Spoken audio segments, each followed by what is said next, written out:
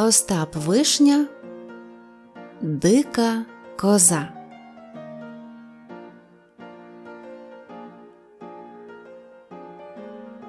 Благородна тварина дика коза, благородна і своєю постаттю, коли струнка і ніжна, стоїть вона серед кущів ліщини або на зеленій квітучо пахучій галявині лісу нашого чарівного, чи коли, спустившись до сули, до росі, до горині, граціозно нахилившись, студену воду п'ї.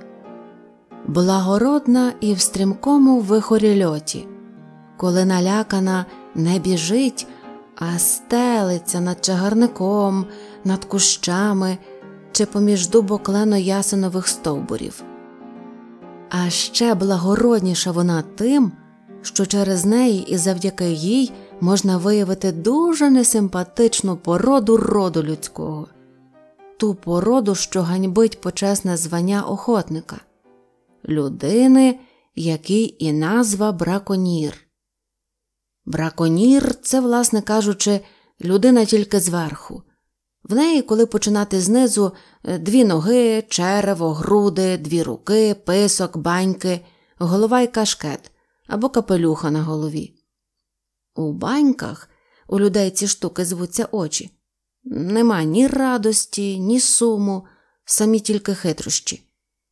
У людей очі дивляться, а баньки в браконіра бігають. Серця в браконіра нема. Замість серця в нього торбочка з м'язів. Торбочка ця в нього спеціально для того, щоб сильно дуже калататися, коли хтось тюкне. Оцей і браконір.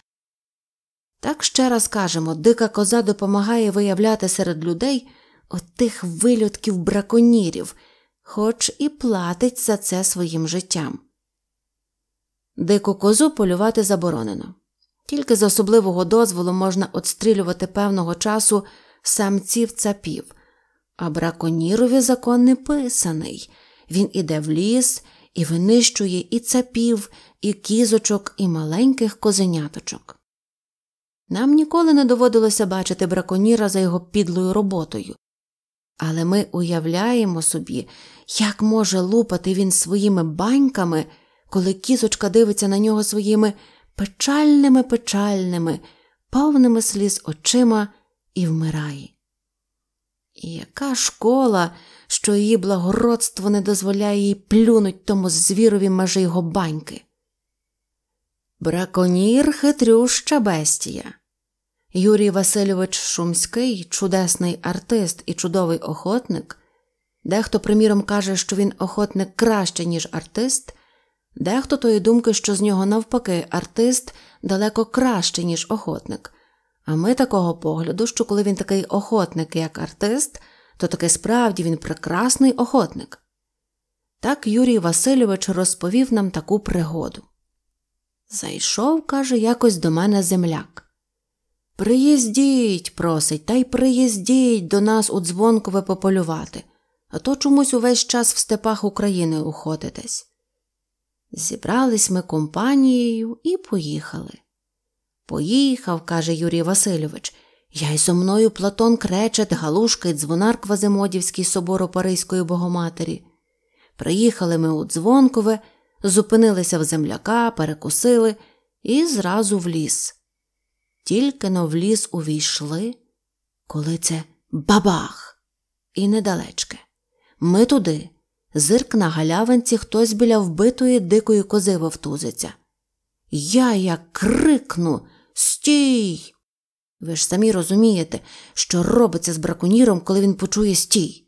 Це на нього так впливає, як батіг на рисака.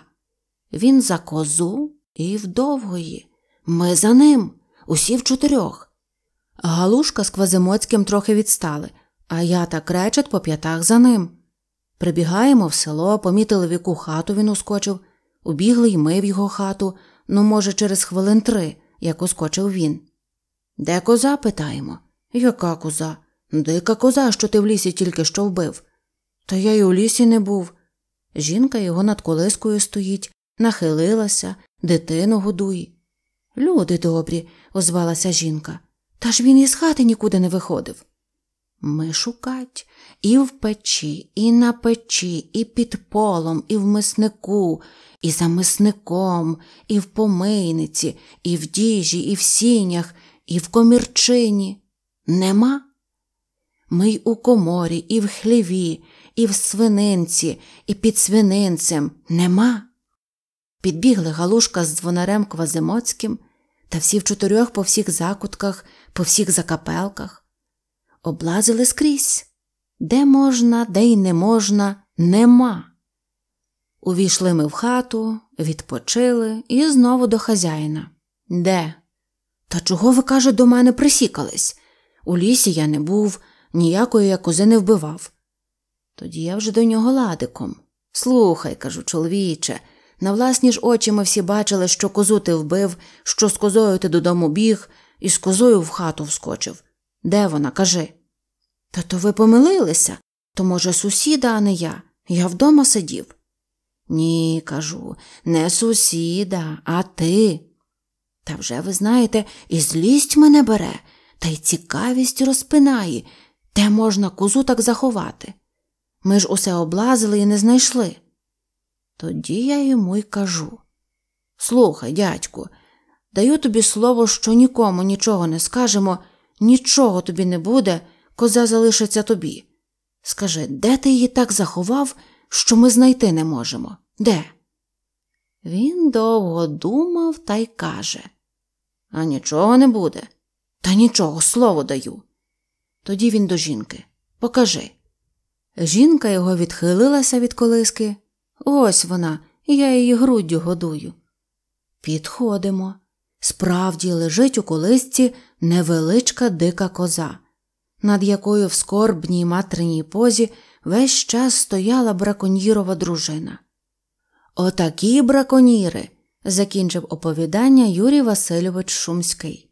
Хитрюща бестія браконір і шкідлива бестія браконір. Та проте і з ним боротися можна. Повертаючись одного разу з охоти, зайшов я по дорозі до давнього мого знайомого Максима туди стрибни, перепочити та молочком підкріпитися. Давно вже, років чи не з п'ять, я Максима не бачив. Зайшов. У хаті сама Максимова жінка. Здрастуйте, привітався я. Здрастуйте, давненько вас не чуть. Заніколилося, кажу, а Максим же питаю, де? В оборі порається, зараз увійде. Чи не можна, питаю, у вас молочка? Е, молочка? Не видоїли бичка, відповідає Максимиха. Здивувався я кріпко, така завжди привітна жінка, і нате вам. А вона до мене нема, каже молочка, коза корову з'їла. Як? А так каже. Коли ось і Максим у хату привіталися. Давненько, кажу, вас не бачив, Максиме. Мене робота не пускала, а ви ж у місті буваєте, чому не заходили? Раніше було частенько навідувались. А жінка от печі козу полював. Я сиджу і нічого не розумію. Максим махнув рукою. Та, що таке? питаю Максиме, розкажіть. Три роки дику козу полював, ще раз махнув він рукою. Три роки? Як це три роки? А так, з рушницею? Та де там з рушницею? А з чим? З ізоляцією. Та й розповів мені Максим таку історію. Пішов я з рушницею в ліс. Може, думаю, де зайця підніму.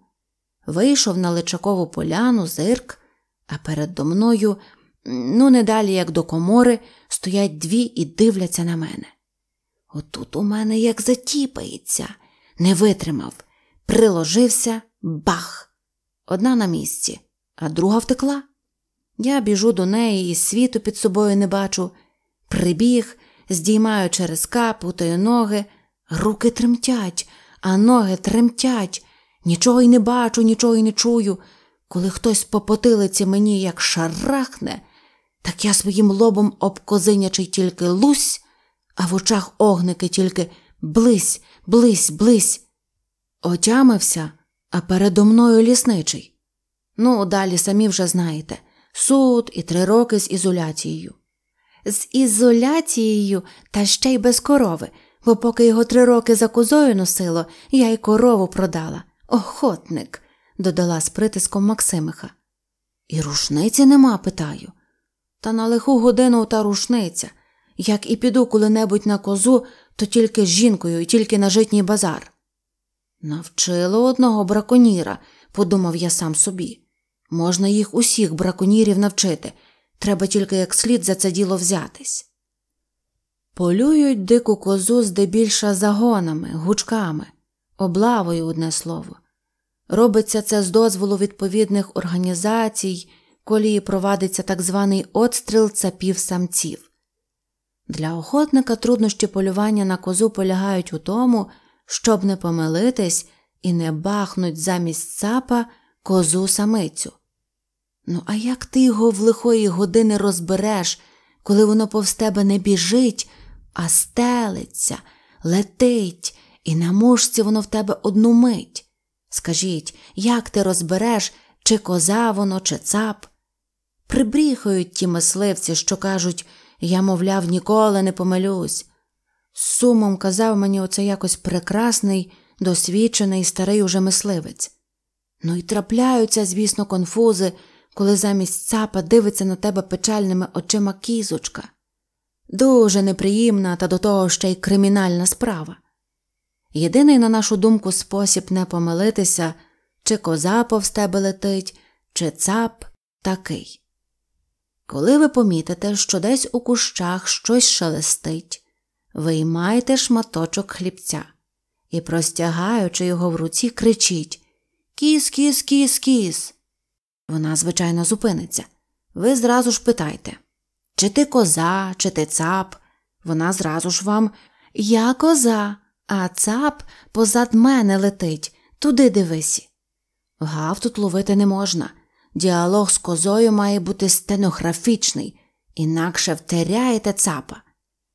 Трапляються випадки, що цап, зупинившись на ваш заклик кіс-кіс, стане перед вами і, щоб вас обдурити, мекне басом. Я коза.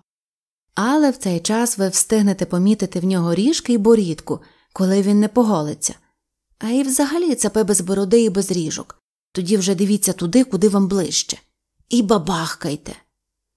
Убити цапа це ціла подія в житті кожного мисливця. Траплялося й мені вбивати. Заходьте, запросив мене добрий мій знайомий і старий охотник, завтра до мене, дикого цапа встрелимо, дозвіл маю. Я зайшов, зарядивши рушницю чотирма кулями. Рушницю, каже мій знайомий, поки що розрядіть і повісьте, та йдіть сюди й сідайте, поговоримо. Щоб довго не балакати, убив я тоді чи не ціле здоровенне блюдо дикого цапа. Ох, і смачна ж дичина. Хазяйка вже аж кривиться почала. А я б'ю, а я б'ю. Яка ж то благородна тварина, дика коза. І в лісі, коли стоїть, і коли вона летить, стелиться, і коли вона браконіра виявляє. Благородна вона і на блюді. Кінець. Ставте свої лайки, вподобайки, підписуйтесь на канал Світ Казок і до зустрічі!